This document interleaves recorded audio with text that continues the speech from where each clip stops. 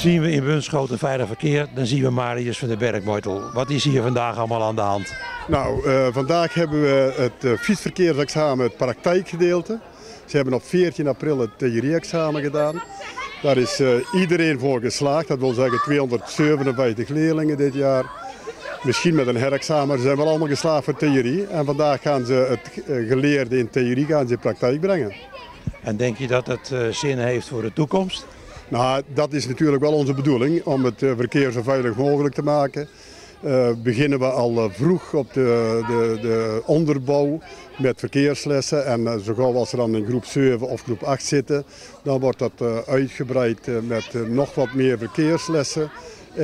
niet alleen in theorie, maar ook in praktijk door de leerkrachten. Bij het inleidende praatje vertel je van jullie moeten afstand houden. Maar dat heb ik gemerkt, is wel erg moeilijk onderweg. Ja, dat, dat is ook heel begrijpelijk.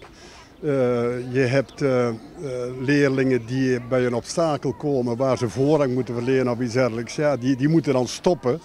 En dan staan ze daar te wachten tot ze de, de weg vrij is en ze over kunnen steken. En andere leerlingen komen daar dan achteraan fietsen en ja, die sluiten dan op.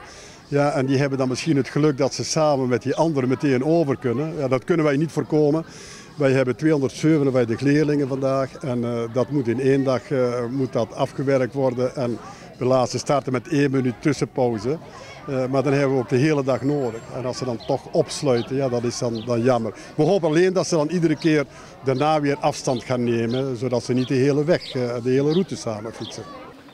Ja, jongelui, zoals de heer Van den Bergbortel al zei, is dit een uh, belangrijk moment, een startpunt voor de verkeersexamens in de provincie. Wij als gemeentebestuur vinden het ook heel belangrijk. En het is eigenlijk nog belangrijker voor jullie, want ik denk dat het voor bijna iedereen wel de eerste examen is wat hij gaat uh, afleggen. Maar het is wel het examen waar je je hele leven plezier van blijft hebben tot, uh, zo maar zijn aan het eind toe. Want je hebt je hele leven met verkeer te maken, dus je moet je hele leven oppassen in verkeer. En dat is iets wat je hier leert en waar je, als het goed is, uh, nu een heel goed examen voor aflegt.